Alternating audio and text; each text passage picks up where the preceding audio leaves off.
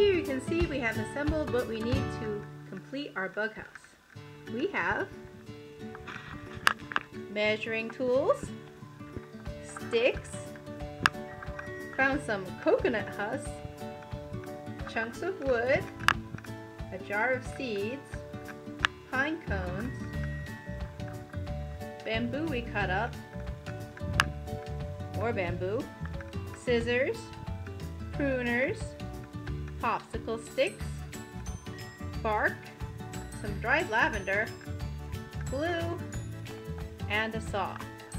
We also have some straw and some cardboard recycled packing material. And of course the boxes we built. Different insects will like different kinds of accommodations.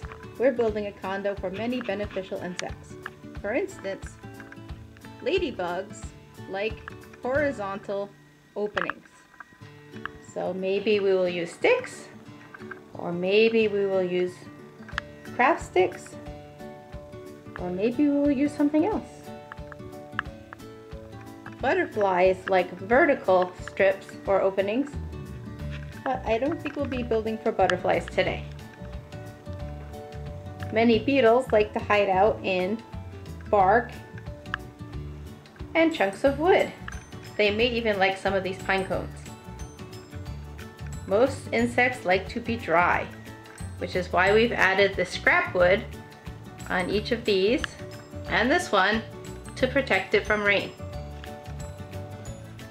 We also want to have some lacewings and supposedly they are really into straw. So hopefully we'll get some of those cool lacewing fairy creatures to help out in our garden.